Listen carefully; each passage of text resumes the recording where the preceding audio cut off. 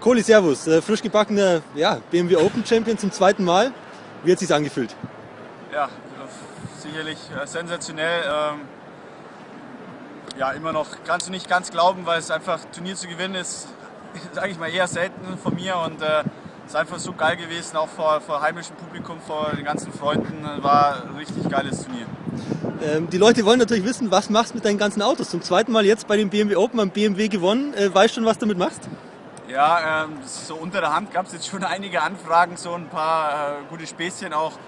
Ja, ich weiß es noch nicht. Ich habe äh, unglücklicherweise schon vorher ein Auto gekauft vom BMW, äh, von dem her, ja, noch eins. Ich kann ja nur eins fahren, also von dem her weiß ich es wirklich noch nicht.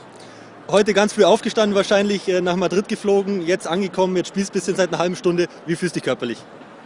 Ja, eigentlich fühlt man sich ganz gut. Ähm, klar hat man noch äh, so vier Matches und jetzt auch Halb- und Finale war ziemlich tough merkt man so ein bisschen schon was, aber klar auch die Lockerheit, weil man ein richtig gutes Gefühl hat, ein Turnier zu gewonnen zu haben.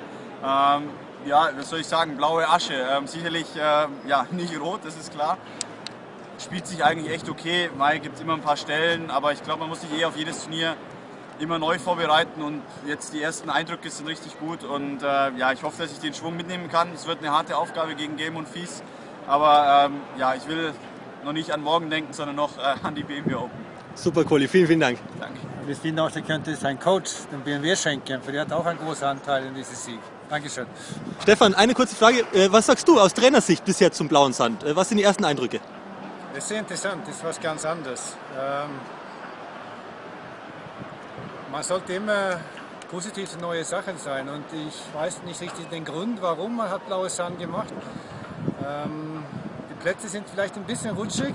Ich glaube, man könnte die besser hinkriegen. Und dann glaube ich auch, die Farbe ist egal. Aber im Moment ist es so, dass die, äh, die sind ein bisschen zu rutschig, finde ich. Und äh, es sind sehr viele schlechte Bounces auf, auf dem Platz. So, ich habe auch ein bisschen Angst, dass vielleicht man die Spiele können sich auch verletzen, wie die rutschen aus. Aber die Idee ist sicher interessant. Immer was Neues, es ist positive Tennis.